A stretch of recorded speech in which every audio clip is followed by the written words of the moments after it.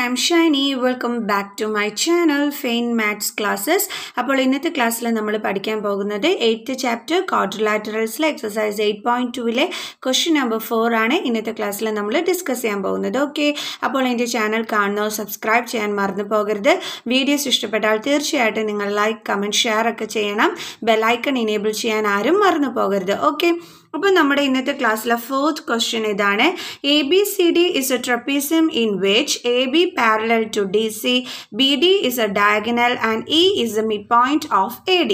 A line is drawn through E parallel to AB intersecting BC at F. Show that F is the midpoint of BC. അപ്പോൾ എന്താണ് നമ്മുടെ ക്വസ്റ്റ്യനിൽ പറഞ്ഞിരിക്കുന്ന ഒരു വലിയ ക്വസ്റ്റ്യനൊക്കെയാണ് അല്ലേ അതിനകത്ത് എന്താണ് പറഞ്ഞിരിക്കുന്നതെന്ന് വെച്ചാൽ A B C D is a trapezium കണ്ടല്ലോ ദംസി വരച്ചിരിക്കുന്നത് ഈ എ ബി സി ഡിയും എന്താണ്? ഒരു ട്രപ്പീസ്യമാണ് പിന്നെ എന്ത് പറഞ്ഞിട്ടുണ്ട്? A B parallel to D C എന്ന് നമുക്ക് തന്നിട്ടുണ്ട്. അപ്പോൾ നമുക്ക് തന്ന കാര്യങ്ങളൊന്ന് എടുത്ത് എഴുതി വയ്ക്കാം given A B parallel to D C okay പിന്നെ എന്താ തന്നിട്ടുള്ളത്? B D is a diagonal അതിലെ ഡയഗനലാണ് ഈ ബി ഡി എന്ന് പറയുന്നത്. And E is the mid point of A D അത് എനിക്ക് ഇ എന്ന് പറയുന്ന പോയിന്റ് എന്താണ്? എ ഡിയുടെ മിഡ് പോയിന്റ് ആണ്. പിന്നെ എന്താ പറഞ്ഞിരിക്കുന്നത് a line is drawn through E parallel to A B intersecting B C at F അതായത് നമ്മളോട് പറഞ്ഞിരിക്കുന്നു ഇപ്പം മിഡ് പോയിന്റ് ആണ് ഇ എന്ന് പറഞ്ഞില്ലേ? നമ്മൾ ഈ ഇയിൽ നിന്നും ഒരു ലൈൻ എന്ത് ചെയ്യുന്നു? എ ബിക്ക് പാരലായിട്ട് വരച്ചിരിക്കുന്നു. അത് എവിടെ വന്നിട്ടാണ് ഇന്റർസെക്റ്റ് ചെയ്യുന്നത്? ബി സിയിൽ വന്നിട്ട് എഫ് എന്ന് പറയുന്ന പോയിന്റിലാണ് ഇന്റർസെക്റ്റ് ചെയ്യുന്നത്. അപ്പോൾ ഇതിൽ നിന്നൊരു കാര്യം നമുക്ക് മനസ്സിലായില്ലേ? എന്താണ്? ഈ ഇ എഫ് എന്തിന് പാരലാണ് എ ബിക്ക് പാരലാണെന്ന് നമുക്ക് മനസ്സിലായി. അപ്പോൾ അത് നമുക്കൊന്ന് എടുത്ത് എഴുതാം. E F parallel to A B കാരണം ക്വസ്റ്റ്യനിൽ പറഞ്ഞിട്ടുണ്ടായിരുന്നു എ ഡിയുടെ മിഡ് പോയിന്റ് ആണ് ഇ ഇ എന്ന് പറയുന്ന ആ ഒരു പോയിന്റിൽ കൂടി ഒരു ലൈൻ നമ്മൾ വരച്ചു. അത് എന്തിന് പാരലൽ ആണെന്ന് പറഞ്ഞിട്ടുണ്ട്? എ ബിക്ക് പാരലൽ ആണെന്ന് പറഞ്ഞിട്ടുണ്ട്. അത് എവിടെ വന്ന് ഇന്റർസെക്റ്റ് ചെയ്യുന്നു? ബി സി എന്ന് പറയുന്ന ലൈനിനെ ഇന്റർസെക്റ്റ് ചെയ്യുന്നു എന്നും പറഞ്ഞിട്ടുണ്ട്. ഓക്കെ ഇന്റർസെക്റ്റ് ചെയ്യുന്നു. ആ ഇന്റർസെക്റ്റ് ചെയ്യുന്ന പോയിന്റിന്റെ നെയിം എന്താണ്? എഫ് ഇനി എന്താ പറഞ്ഞിരിക്കുന്നത് show that F is the mid point of B C ഈ ബി സിയുടെ മിഡ് പോയിന്റ് ആണ് എഫ് എന്നുള്ളതാണ് നമ്മളിവിടെ പ്രൂവ് ചെയ്യേണ്ടുള്ളത് ഓക്കെയാണേ ഓക്കെ അതിലേക്ക് നമ്മൾ എന്താ ചെയ്യേണ്ടതെന്ന് വെച്ച് കഴിഞ്ഞാൽ നമ്മളിതേ ഈ ട്രയാങ്കിൾ എടുക്കുക. അതായത് ട്രയാങ്കിൾ എ ഡി ബി ഈ ട്രയാങ്കിളാണ് നമ്മൾ നോക്കാൻ പോണത്. Triangle A D B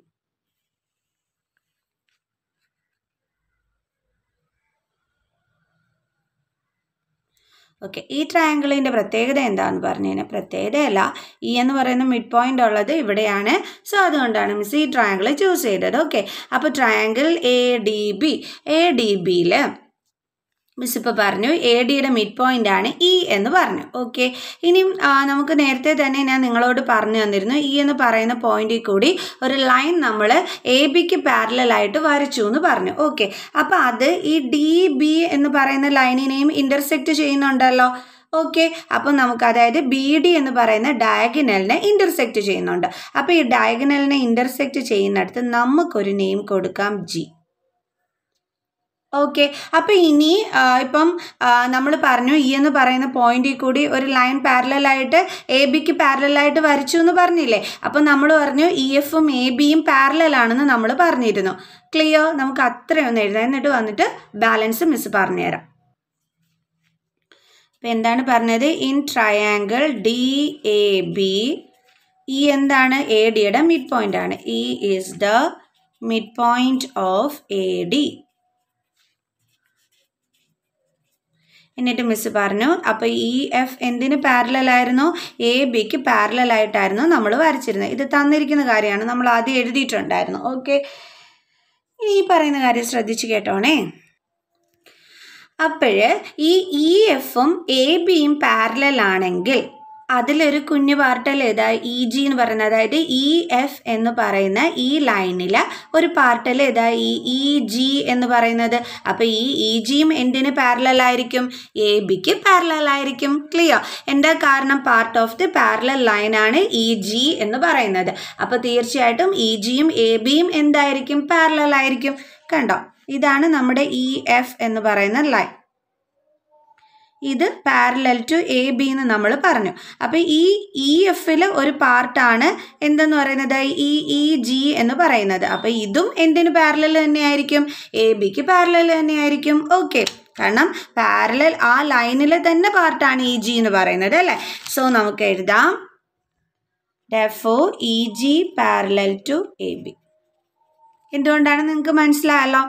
ഇനി നമ്മൾ ഇവിടെ പ്രൂവ് ചെയ്യാൻ പോണത് എന്താണെന്ന് അറിയാവോ? ഫസ്റ്റിലെ നമ്മൾ ഇതൊക്കെ ചെയ്യുന്നത് എഫ് മിഡ് പോയിന്റ് ആണെന്ന് പ്രൂവ് ചെയ്യാൻ വേണ്ടിയിട്ടാണ്. ബട്ട് നമ്മൾ ഈ ട്രയാങ്കിൾ ഡി എ ബി എടുത്തിട്ട് നമ്മൾ പ്രൂവ് ചെയ്യാൻ പോണത് എന്താണെന്ന് അറിയാവോ?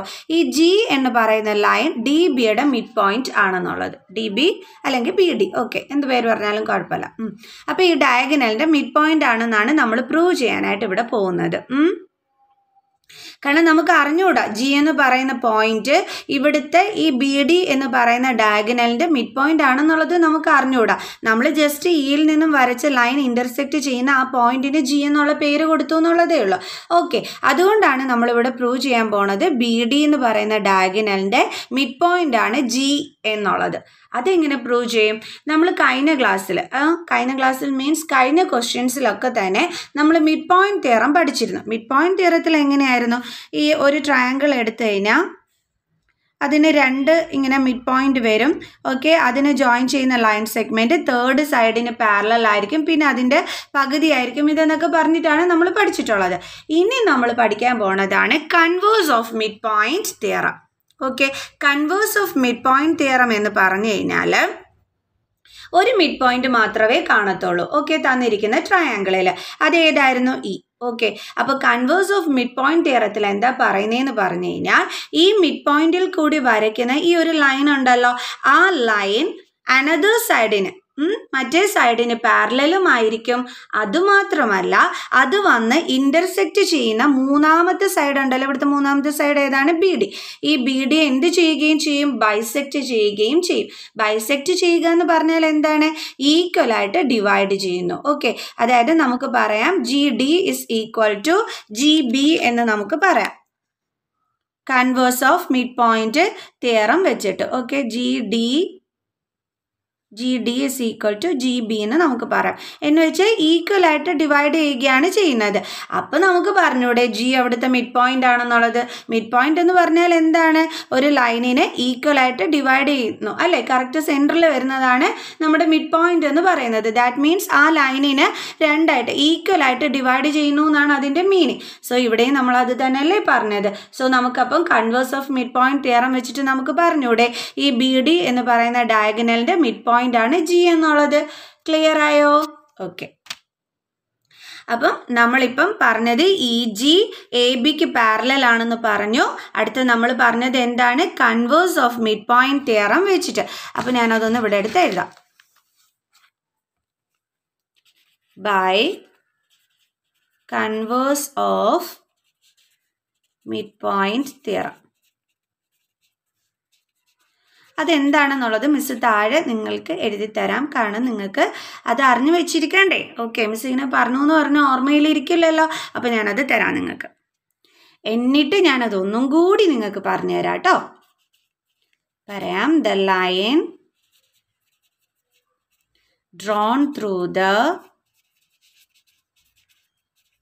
mid point one side of a triangle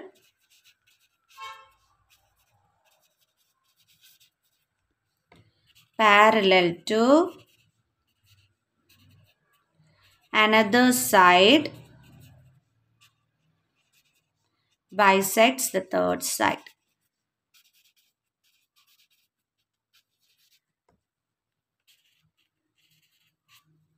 Okay ഇത് എന്നിട്ട് മിസ് ഒന്നും കൂടി പറഞ്ഞുതരാം. ഈ എഴുതിയത് വെച്ചിട്ട് നിങ്ങൾക്ക് പറഞ്ഞുതരാം. ഓക്കെ അപ്പോൾ നോക്കിക്കോ. അതായത് എന്താ പറഞ്ഞിരിക്കുന്നത് the line drawn through the mid point of one side of a triangle ഇതേ നമ്മളിപ്പോൾ ഒരു ട്രയാങ്കിൾ വരച്ചു. ഓക്കെ എന്താ പറഞ്ഞിരിക്കുന്നത്? ഈ ട്രയാങ്കിളിന്റെ ഒരു സൈഡിലെ മിഡ് പോയിന്റിൽ കൂടി കടന്നു പോകുന്ന ലൈൻ നമ്മൾ വരയ്ക്കുന്ന ലൈൻ ഈ ലൈൻ എന്ന് പറയുന്നത് എന്താണ് പറഞ്ഞിരിക്കുന്നത്? പാരലൽ ടു അനദർ സൈഡ് ഇത് എന്തിന് പാരലൽ ആയിരിക്കും? അനദർ സൈഡ് അതായത് ഈ സൈഡിന് പാരലൽ ആയിരിക്കും.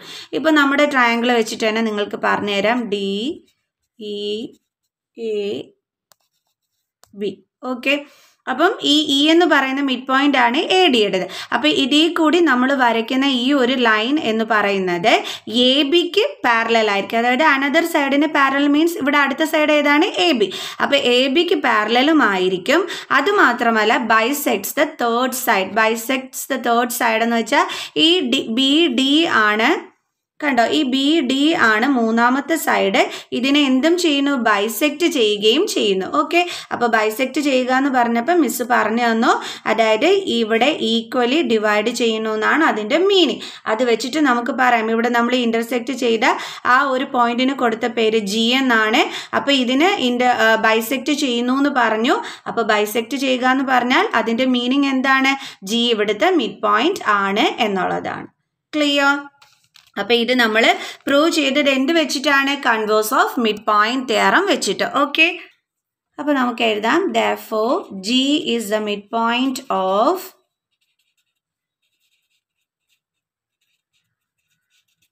എന്തിന്റെ മിഡ് പോയിന്റ് ആയിരുന്നു? ആ ഡയഗനൽ ബി ഡിയുടെ അല്ലേ? ഡയഗനൽ ബി ഡി അങ്ങനെ നമ്മൾ ജി മിഡ് പോയിന്റ് ആണെന്നുള്ളത് പ്രൂവ് ചെയ്തു. ഇപ്പം നമ്മൾ ജി മിഡ് പോയിന്റ് ആണ് എന്ന് പ്രൂവ് ചെയ്തതുപോലെ തന്നെ നമുക്കിത് അടുത്ത ട്രയാങ്കിൾ എടുക്കാം. ആ ട്രയാങ്കിളിന്റെ നെയിം എന്താണ്? ട്രയാങ്കിൾ ബി ഡി സി അതായത് ഇതാ ഈ ട്രയാങ്കിളാണ് നമ്മളിനി ചൂസ് ചെയ്യുന്നത്.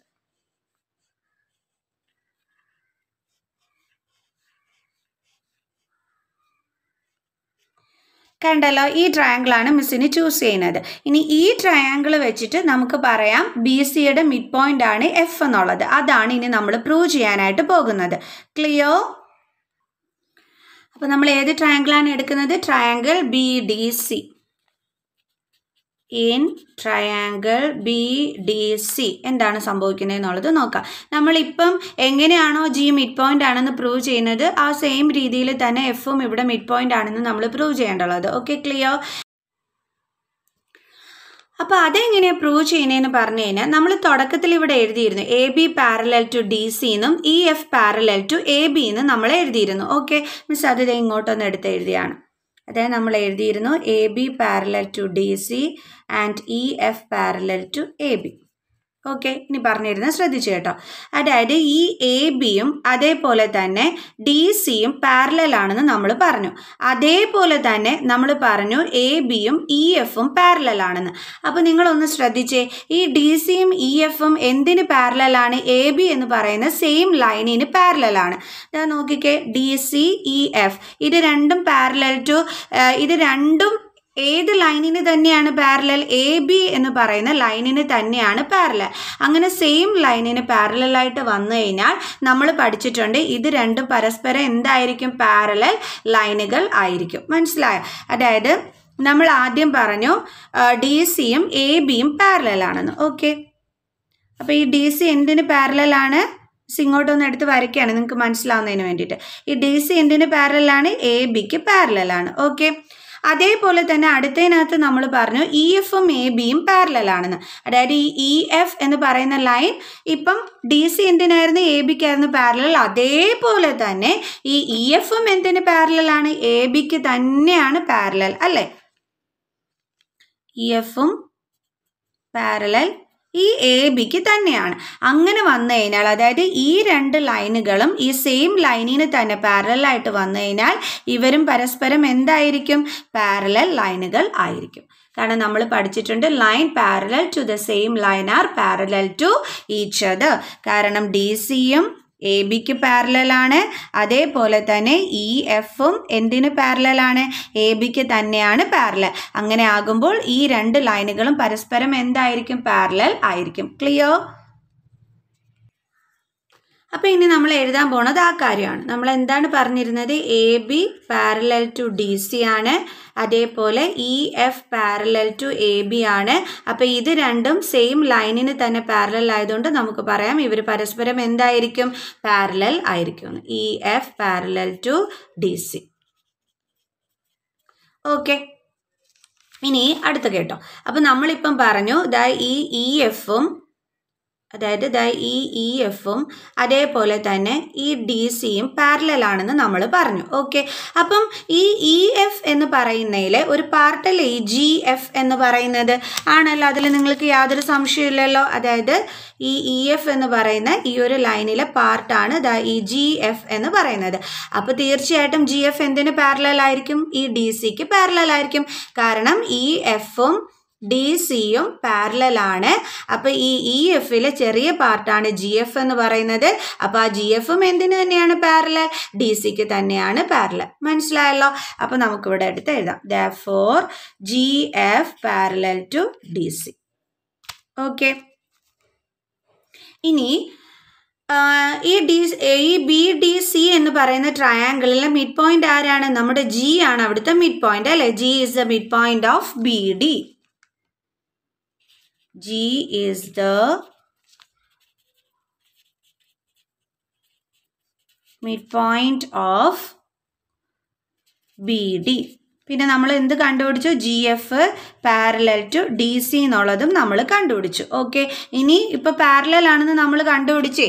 അപ്പോൾ നമുക്ക് പറയാമല്ലോ converse of mid point theorem വെച്ചിട്ട് എഫ് ബി സിയുടെ എന്താണെന്നുള്ളത് മിഡ് പോയിന്റ് ആണെന്നുള്ളത് പറയാം. അതെങ്ങനെയാണ് നമ്മൾ പറയുന്നത് കാരണം നമ്മൾ പഠിച്ചിട്ടുണ്ട് അതായത് ഏതെങ്കിലും ഒരു സൈഡ് അതായത് ബി ഡി എന്ന് പറയുന്നത് ഇപ്പോൾ നമ്മൾ എടുത്ത ബി ഡി സി എന്ന് പറയുന്ന ട്രയാങ്കിളിന്റെ സൈഡായ ബി ഡിയുടെ മിഡ് പോയിന്റ് ആണ് ജി ഓക്കെ ആ ജി കൂടി കടന്നു പോകുന്ന ഈ ലൈൻ എന്തിന് പാരലൽ ആയിരിക്കും? അനദർ സൈഡിന് പാരലൽ ആയിരിക്കും. അതായത് സി ഡിക്ക് പാരലൽ ആയിരിക്കും. അതേപോലെ തന്നെ ഇത് എവിടെയും ഇന്റർസെക്റ്റ് ചെയ്യുന്ന തേർഡ് സൈഡ് എന്ന് പറഞ്ഞാൽ ഈ ഒരു പോയിന്റ് ആ പോയിന്റ് ഏതാണ്? എഫ് ഓക്കെ അപ്പം ആ ഈ ബി സി എന്ന് പറയുന്ന ലൈനിനെയാണ് ആര് ഇന്റർസെക്റ്റ് ചെയ്തത്? ഈ ജി കൂടി കടന്നു പോകുന്ന ഈ ലൈൻ ഇന്റർസെക്റ്റ് ചെയ്തത്. ഇന്റർസെക്റ്റ് ചെയ്യുക എന്ന് പറഞ്ഞു കഴിഞ്ഞാൽ എന്താണ്? ഈക്വലി ഡിവൈഡ് ചെയ്യുക. അതായത് നമുക്ക് പറയാം F C is equal to F B എന്ന് നമുക്ക് പറയാം. അപ്പം ഈക്വലി ഡിവൈഡ് ചെയ്യുക എന്ന് പറഞ്ഞാൽ അതിന്റെ അർത്ഥം എന്താണ്? എഫ് ബി സിയുടെ മിഡ് പോയിന്റ് എന്നാണ്. മനസ്സിലായോ? ഇത് നമ്മൾ പ്രൂവ് ചെയ്തത് എന്ത് വെച്ചിട്ടാണ്? കൺവേഴ്സ് ഓഫ് മിഡ് പോയിന്റ് തിയറത്തിന്റെ കോൺസെപ്റ്റ് വെച്ചിട്ടാണ് നമ്മൾ ഇത് പ്രൂവ് ചെയ്തത്. അപ്പം നമ്മൾ അതിവിടെ അടുത്ത് എഴുതണം. By converse of mid point theorem അതെന്തുവാണെന്നുള്ളത് നിങ്ങൾക്ക് ഞാൻ തുടക്കത്തിൽ എഴുതി കാണിച്ചിരുന്നു എക്സ്പ്ലെയിനും ചെയ്ത് തന്നിരുന്നു കേട്ടോ അപ്പോൾ നമ്മൾ converse of mid point theorem എന്ന് എഴുതിയാൽ മതി okay for F is the mid point of B C ഇതല്ലേ നമ്മളോട് പ്രൂവ് ചെയ്യാൻ പറഞ്ഞിരുന്നത്. അപ്പോൾ എന്തായി? ഹാൻഡ്സ് പ്രൂവ് അപ്പോൾ എല്ലാവർക്കും converse of mid point theorem ഒക്കെ മനസ്സിലായി കാണുമെന്ന് വിചാരിക്കുന്നു. അപ്പോൾ നമുക്ക് എന്ത് ചെയ്യാം? ഇന്നത്തെ വീഡിയോയുടെ വൈൻഡ് അപ്പ് ചെയ്യാം. നെക്സ്റ്റ് ക്ലാസ്സിൽ അടുത്ത ക്വസ്റ്റ്യനുമായിട്ട് കാണാം. അപ്പോൾ എന്റെ ചാനൽ സബ്സ്ക്രൈബ് ചെയ്യാത്തവർ please subscribe my channel maximum share ചെയ്ത് സപ്പോർട്ട് ചെയ്യുക. ബെൽ ബെല്ലൈക്കണം ഇനേബിൾ ചെയ്യുക. Thank you students